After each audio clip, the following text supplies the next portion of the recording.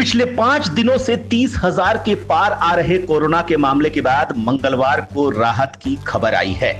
भारत में पिछले 24 घंटे में कोविड 19 के 26,115 मामले सामने आए हैं जो सोमवार की तुलना में कम है। सोमवार को 30,000 से ज़्यादा मामले रिपोर्ट हुए थे। इसी के साथ एक्टिव केसेस का आंकड़ा भी तेज़ी से घटा है। कुल संक्रमित मरीजों की संख्या की बात करें तो ये तीन करोड़ पैंतीस लाख चार हज़ार पाँच सौ चौतीस पहुँच गई है।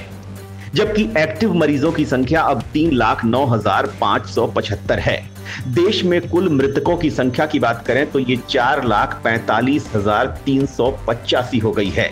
और अब तक कुल स्वस्थ मरीजों की संख्या तीन करोड़ सत्ताईस लाख उनचास हज़ार पाँच सौ चौहत्तर हो गई है। बीते 24 घंटे में कोरोना से दो सौ बावन मरीजों की मौत हुई है। देश में अब तक कुल चार लाख पैंतालीस हज़ार तीन सौ पचासी लोग इस वायरस के चलते जान गंवा चुके हैं। कोरोना संक्रमण के मामलों में सबसे अधिक प्रभावित राज्यों में से केरल से भी राहत की खबर आई है।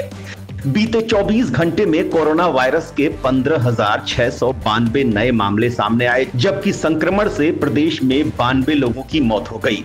इसके साथ ही प्रदेश में संक्रमितों की कुल संख्या पैंतालीस लाख चौबीस हज़ार एक सौ पचासी, जबकि मरने वालों की संख्या तेईस हज़ार छह सौ तिरासी हो गई है। कोरोना एक्टिव केसेस के मामले में दुनिया भारत अब आठवें स्थान पर है।